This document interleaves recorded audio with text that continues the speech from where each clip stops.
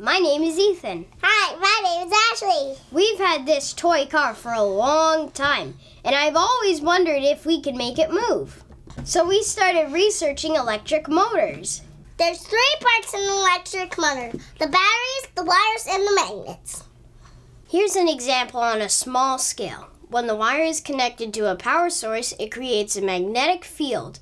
Bringing a magnet close to it will cause the loop of wire to be repelled, which spins it around.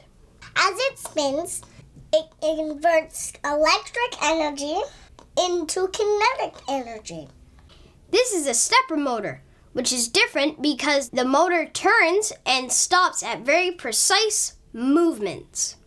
This is used in machines like robots and printers. You can see the coils of wire and the magnet, and here is where you connect it to a power source.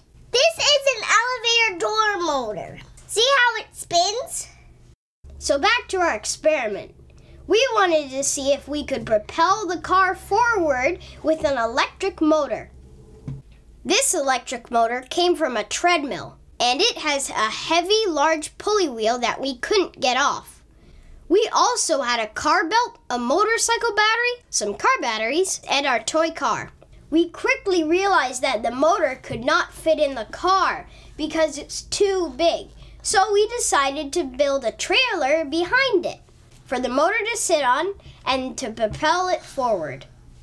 We used the shelf for the base of our trailer, but you can use any piece of wood that's big enough. To make it, we attached the pulley to one wheel, attached both wheels to the axle, and then affixed the axle to the shelf.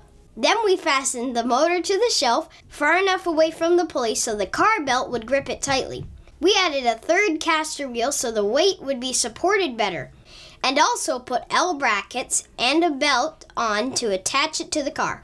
We also spray painted the car to make it look good. I love the pink stripe. Last of all came the battery. Tony's Toys here in Grand Cayman was generous to give us an old car battery. And it weighs a ton. I can't even lift it up. We tried powering the motor with it, but it added too much weight, making it difficult for the car to move forward. So this is where our experimenting came in. We tried putting extra batteries on a dolly, hooking them up in series to give the car more power. That seemed to work better, but you still had to push the dolly alongside the car as it moved.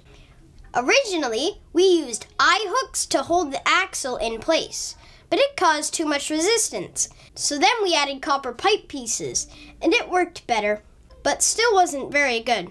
Finally, we found these ball bearing wheel hubs and attached them to the axle. They made a big difference and significantly reduced the resistance. With that problem solved, we can focus on increasing the power to the motor, but not adding too much weight. We found some lighter batteries and even a motorcycle battery. All of these are 12 volt batteries, but as you can see, some are much lighter than others. Hooking three of them up in series increased the voltage from 12 volts to 36 volts, which made the motor spin faster. We wired up a switch system to make it easier to turn the motor on and off.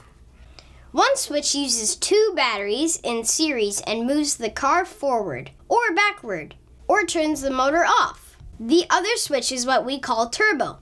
And when you flip it on, it adds a third battery into the series.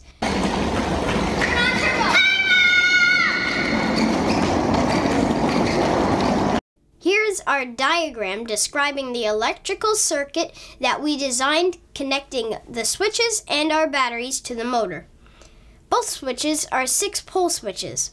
One is a three position switch and one is a two position switch. We kept experimenting by changing our variables to see what helped the car go faster. We all tried it out, and we found that the lighter the rider was, the faster it went. We also determined that three batteries was the best number because any more adds too much weight and resistance to the car. Keeping the belt tight made a big difference, and fully charged batteries made the car go faster than half charged batteries. Overall, we discovered if we increase the power and decrease the resistance, then we would have more speed. So, we did what we set out to do. We created the car that was propelled by an electric motor. This would be more effective if all the big batteries would be motorcycle batteries and if we could get the big pulley wheel off of the motor and attach it with a smaller pulley wheel. This would change the gear ratio between the motor and the wheel and give the motor more torque. So that means the motor can spin faster and give more power to the car. It's like riding a bike and then putting it into a lower gear so you can go uphill faster. By the way, to do this, we had to get resourceful with parts and pieces and ideas for how to make it work. We went to the hardware store many times. A.L. Thompson's had many parts, Parker's had parts, the Battery Recycling Center, Kirk's Home Office, and Tony's Toys. Tony's Toys was very generous and gave us two used car batteries for free. We bought the other batteries at the Recycle Center. Kirk's Home Office gave us some used printer step motors for free to experiment with. We talked to many people and asked lots of questions, even some electricians. One helped us get the elevator motor, and one helped us get the treadmill motor. This is a really good experience for me and my brothers. We learned a lot. And it was really fun riding on the car. If this is your first time on our channel, we'd love to have you subscribe. Thanks for watching our video. Bye. Bye.